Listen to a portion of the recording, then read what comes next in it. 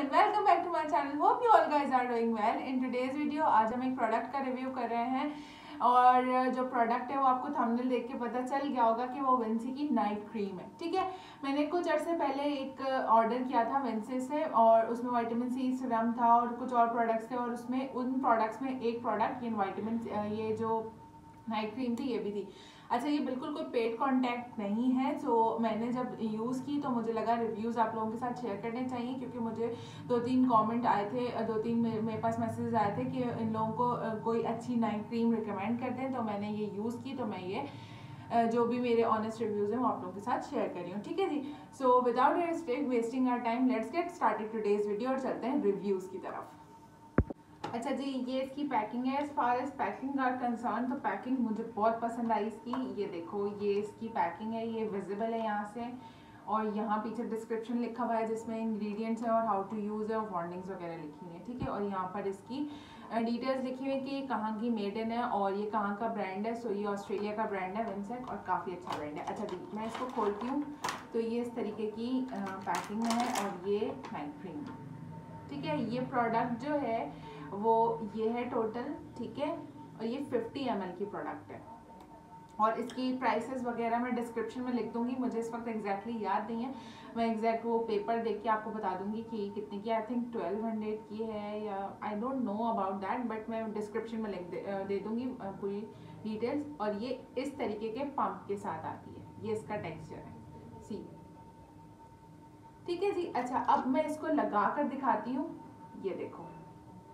ये इस तरह की स्मूथ बिल्कुल जेल टाइप की क्रीम है और अब अगर आप इसको लगा लेते हो ना तो ये बहुत ज़्यादा थिन भी नहीं है, बहुत ज़्यादा थिक भी नहीं है और बहुत क्रीमी टेक्सचर है इसका। ठीक है, अब आप इसको लगा लेते हो ना तो ये दो मिनट के अंदर आपकी स्किन में एब्जॉर्ब हो जाएगी। ठीक है, सही सही है?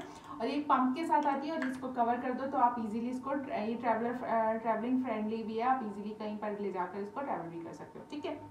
अच्छा नाइट क्रीम लगाना क्यों ज़रूरी है? सबसे पहले हम इस बात पे बात कर लेते हैं। नाइट क्रीम हम, हमारी स्किन पर उस तरीके के इफ़ेक्ट्स ख़त्म करती है, जैसे एजिंग के इफ़ेक्ट्स आ रहे होते हैं। स्किन की टाइटनिंग ख़त्म हो रही होती है, या स्किन बहुत डल हो रही होती है, झुर्रियाँ, झाइयाँ रिंकल्स इन सबको कवर अप करने के लिए हमें नाइट क्रीम यूज़ करना बहुत ज़्यादा ज़रूरी है। ठीक है? अच्छा हम आप इसको यूज़ कैसे करते हैं? बहुत सारे लोगों के ये मिथ्स होते हैं कि नाइट क्रीम अगर हमने इस्तेमाल करनी वन शुरू कर दी तो हमारी स्किन आधी हो जाएगी। डेफिनेटली आपकी कोई भी आप कोई भी प्रोडक्ट यूज़ करना स्टार्ट करते हो, आपकी स्किन उसकी आधी हो जाती है। लेकिन नाइट क्रीम्स को यूज़ करने का एक मेथड होता है कि वन वीक तक आप उसको रेगुलर बेसिस पे यूज़ करो, फिर आप एक एक दो दो दिन के गैप के बाद यूज़ करो। मीन्स ऑल्टरनेट डेज़ यूज़ करो। सही है जी? तो इस तरीके से आपकी स्किन आधी भी नहीं होती किसी प्रोडक्ट की और आप जो है वो इजीली उसके रिजल्ट्स तक भी पहुँच जाते हो और वो जो प्रॉब्लम्स आपकी स्किन को फेस करनी पड़ रही होती हैं, वो भी कम होती रहती है, ठीक है? और मैं ये रिकमेंड करूँगी कि कभी भी किसी एक प्रोडक्ट पे स्टिक होकर मत रहो। आप प्रोडक्ट दो प्रोडक्ट रखो ऑल्टरनेट ताकि आपकी जो स्किन है वो अगर एक प्रोडक्ट ऑप्सलीट हो जाती है मार्केट से तो दूसरी वो इजीली एक्सेप्ट कर ले। ठीक है, मेरे स्किन के साथ थोड़ा सा ये मसला होता है कि कोई भी एक प्रोडक्ट मैं यूज़ कर रही होती हूँ तो उसकी मेरी स्किन आधी हो जाती है और उसके बाद फिर स्विच करना थोड़ा सा मुश्किल होता है। तो मैं मोस्टली दो ऑल्टरनेट प्रोडक्ट्स अपने हेयर्स के लिए भी रखती हूँ और अपने स्किन के लिए भी रखती हूँ। अच्छा।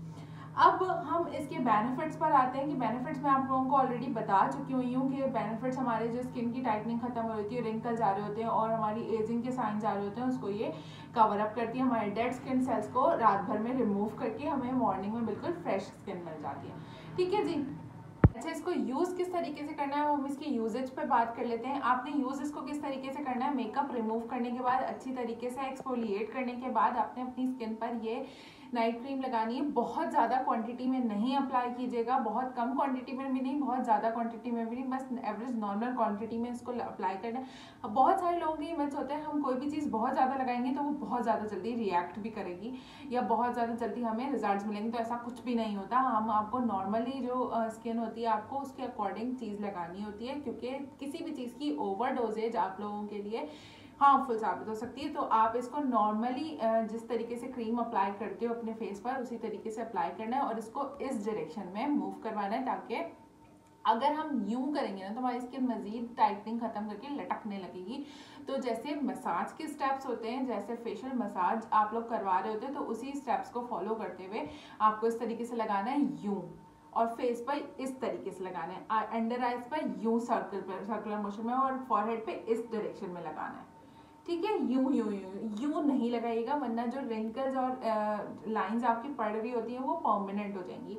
हमेशा फॉरहेड का मसाज इस डायरेक्शन पे करना होता है। ठीक है जी? और फेस का अपर लिफ्टेड अप करना होता है। ठीक है?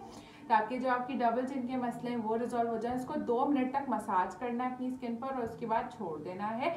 नाइट के लिए, पूरी नाइट के लिए, ठीक है? आप अपने फेस को अच्छी तरीके से वॉश करो मेकअप वाइप्स के साथ पूरा मेकअप रिमूव करो और बिल्कुल क्लीन स्किन स्किन पर इसको लगाओ फेस पर और नेक पर और फिर मॉर्निंग में अपनी स्किन को बहुत सॉफ्ट महसूस करोगे आप, खुद आपको एक हफ़्ते के अंदर अंदर इसके रिज़ल्ट पता चलने लगेंगे। होप आपको आज के रिव्यूइंग वीडियो बहुत पसंद आई होगी। मुझे अपने कमेंट्स के थ्रू अपने रिव्यूज़ ज़रूर शेयर कीजिएगा। For more such videos stay connected with me and do subscribe my channel if you haven't or press the bell icon to get the notifications on time दुआओं में मुझे याद रखिएगा, अपना बहुत सारा ख्याल रखिएगा। मैं मिलूँगी मेरी नेक्स्ट वीडियो में। टिल देन बाय बाय अल्लाह